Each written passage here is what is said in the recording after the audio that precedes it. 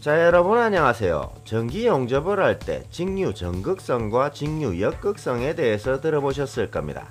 아마도 이 원리에 대해 신경 쓰지 않는 분들도 많이 계실 겁니다. 반대로 이 원리를 실제 업무에 적용하는 분들도 계실 겁니다.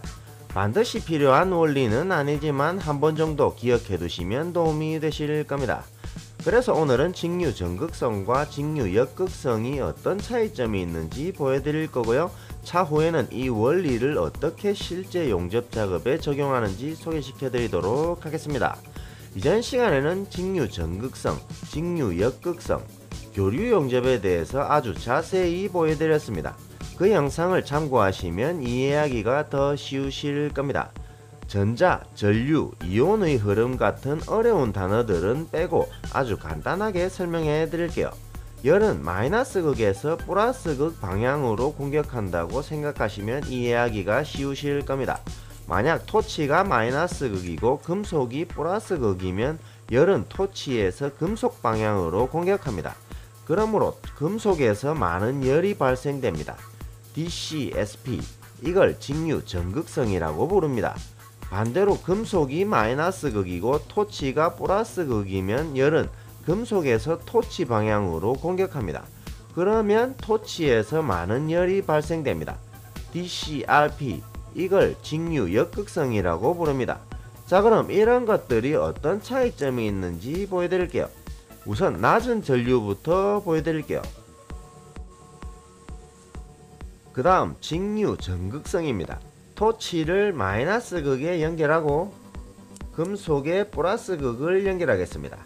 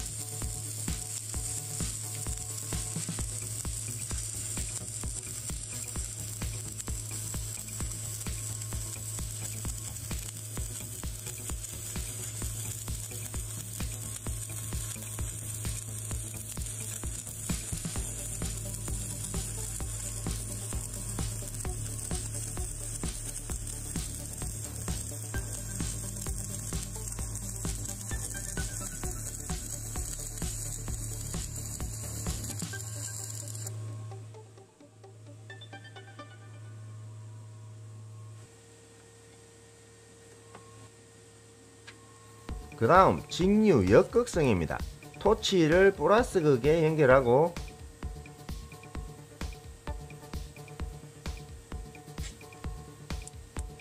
금속을 마이너스 극에 연결하겠습니다.